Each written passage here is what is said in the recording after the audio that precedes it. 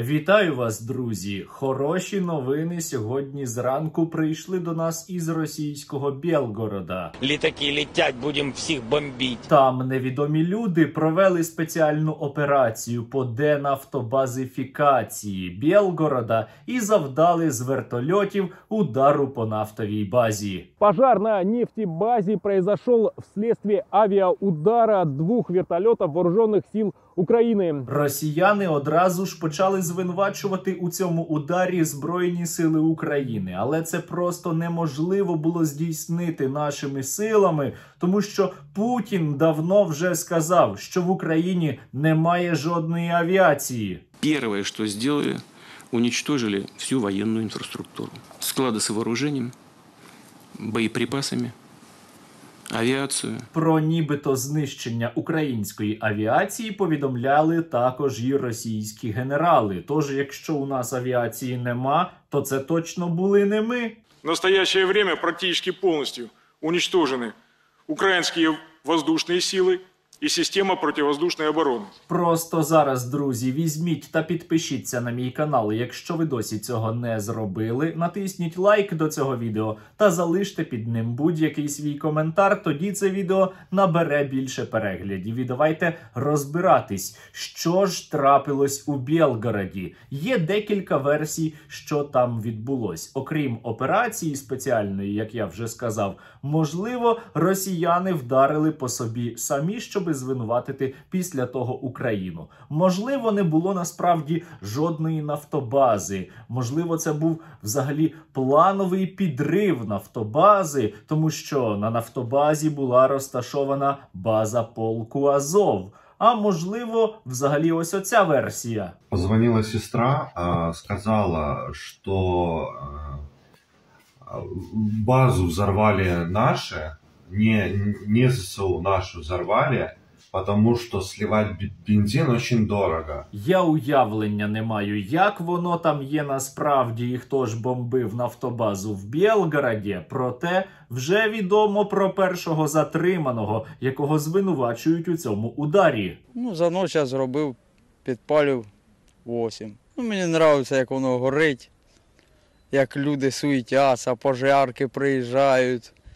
Ну, люди в шокі, глаза аж вилазять у них. Це були далеко не перші удари по Білгороду. Раніше, буквально два дні тому, чомусь невідомо чому почали вибухати склади з боєприпасами поблизу міста. По непроверенной информации произошел пожар на складе боеприпасов. Підозрюю, що це був просто плановий підрив боєприпасів, тому що вони були просто зайві для Росії. І тут же одразу після того включились українські інформаційні війська. У соціальних мережах почали писати масово про те, що це насправді тільки початок, що іще українські батальйони підходять до Білгорода, і навіть російські спільноти були змушені відреагувати. Почали писати про фейки, почали повідомляти, що не варто піддаватись паніці, і навіть росіяни були обурені, що українці скидали їм у месенджери фото розбомблених українських міст та питали у нас, чи є у нас взагалі совість.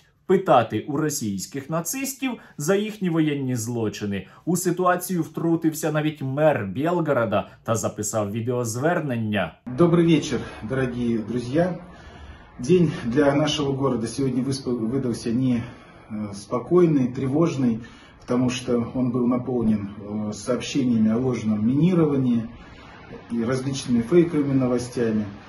Поэтому я вас призываю сохранять спокойствие, проявлять бдительность. Та росіяни вже не чули власного мера і почали тікати. Сразу после инцидента многие жители, не дожидаясь развития событий, покинули свои дома. Виявляється, їм було страшно. От коли їхні війська вбивають мирних людей в Україні, то їм не страшно. А коли у них прилетіло, то жах. Это было очень страшно. Как я сейчас объясню, блин, шок. Вот так вот, не знаю. Страшно було. Уїхали всі оттуда. Російські пропагандисти та чиновники стали казати, що вибухи на складах боєприпасів були через людський фактор. Але самі росіяни чомусь вже не вірять владі. Ну, ми, звісно, розуміємо і уже не верим нашим средствам информации. Ничего случайно в свете последних событий не бывает. Заврались у нас власти. Не вірять російській владі навіть бабусі путіністки. Поэтому даже самые запутинские бабульки, с которыми я разговаривала на следующий день, уже никому не верят. Правильно, вірити можна тільки Збройним силам України. І от сьогодні вранці до нас прийшла нова новина про нові удари по Белгороду. Причина возгорания – авиаудар с двух вертолетов вооруженных сил Украины, которые зашли на территорию России на низкой высоте. Я от тільки одного не можу зрозуміти: невже їхню нафтобазу не врятували намальовані літери на землі на підтримку рашистів? Волонтеры Белгородского района выложили две огромные литеры Z и V на площади около 120 квадратных метров. Чому ж це не допомогло? Незрозуміло, але красиво. За моей спиной сейчас полыхает белгородская нефтебаза. Столб дыма уходит на несколько сотен вверх и тянется уже за километры. В воздухе сейчас чувствуется едкий запах. Скорее всего, это последствия горения. Внаслідок цього влучання невідомо кого, невідомо чиїми ракетами на невідомо чиїх гелікоптерах згоріла майже уся нафтобаза. По предварительной информации, на нефтебазе горят 8 резервуаров с топливом объемом 2000 кубометров каждый. Але це іще не усі хороші новини. Есть угроза, что огонь перекинется на соседние целые цистерни. Я, до речі, хочу подякувати губернатору Білгородської області за те, що він допомагає нашим розвідникам та повідомив у себе у телеграмі про іще одну нафтобазу неподалік. Я думаю, ця інформація точно комусь колись може стати в нагоді. А тим часом у Білгороді почалась евакуація. Чтобы обезопасить местных жителей, было принято решение переселить их в более безопасное место. Правда, оцю евакуацію, як ви чуєте, вони самі називають просто переселенням. У них усе отак: не війна, а спеціальна операція. Не евакуація, а переселення. Ситуация стабильная, дефицита топлива не буде. Дефіциту палива не буде, але це не точно, тому що черги на російських заправках у Білгороді вже є. Ситуація стабільна, дефіцита топлива не будет.